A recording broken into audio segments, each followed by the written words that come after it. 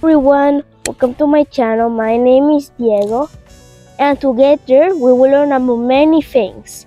Stay here and you will see. Now we're going to do an expedition to find a dangerous dinosaur. Where could this dinosaur be? This tyrant of a dinosaur. What could this be? Not here. Let's check it on the rocks. Hmm. What on there?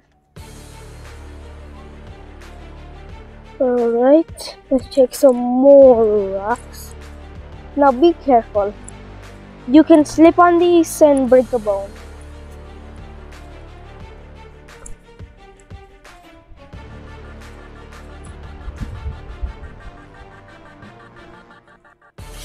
Okay. The dinosaur's not here. Let's check, let's go up. It's not here in the cliffs, okay. It's not in there. Hmm. Let's check. Oh, ca- calm down. Let's, let me see this dinosaur. One, two, three.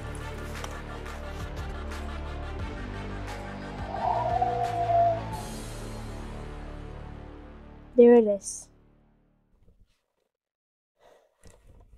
I present to you the Giganotosaurus. Was one of the largest meat-eating dinosaurs that ever roamed the earth. It lived in modern-day Argentina during the late Cretaceous period about 97 million years ago. The low leg bone of the Giganotosaurus found in 1993 in Patagonia, Argentina. The specimen was actually preserved around 70% of the skeleton, and scientists were able to see, or tell I can say, that the dinosaur was bigger than the T-Rex. Estimates based on the skull fragment suggest that the dinosaur may have been up to 40, 43 feet from head to tail. The weight between 6 and 8 tons, which is this fella here, you can see in the photo how big the Giganotosaurus was. Giganotosaurus, pronounced Giga, no, to, sor, us, is Greek for giant southern lizard. Models suggest that Giganotosaurus could run up to 31 miles per hour.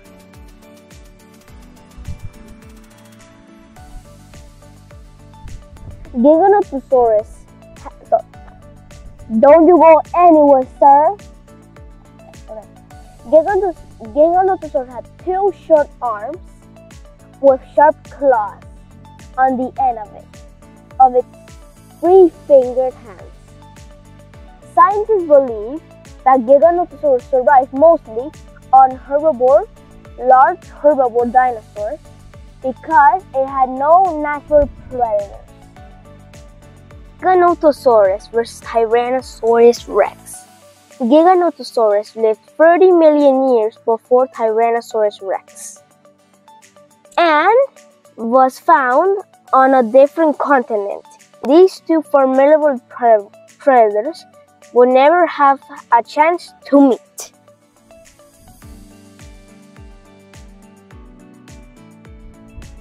On the other hand, Giganotosaurus had a smaller brain than the Tyrannosaurus rex. The force of its, of its bite was probably around three times less. Tyrannosaurus rex would probably had, have had the upper hand. However, Giganotosaurus may have hunted in packs while Tyrannosaurus may have hunted alone.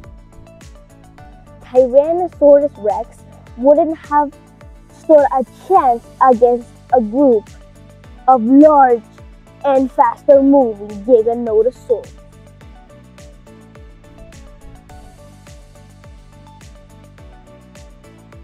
When it comes to a dinosaur such as Giganotosaurus, it really is a case of piecing together the clues we have from the fossils recorded and building up a picture of what it looked like and how it lived.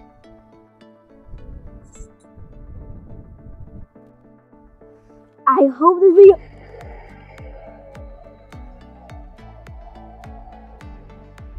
Can you be quiet, please? So I can finish.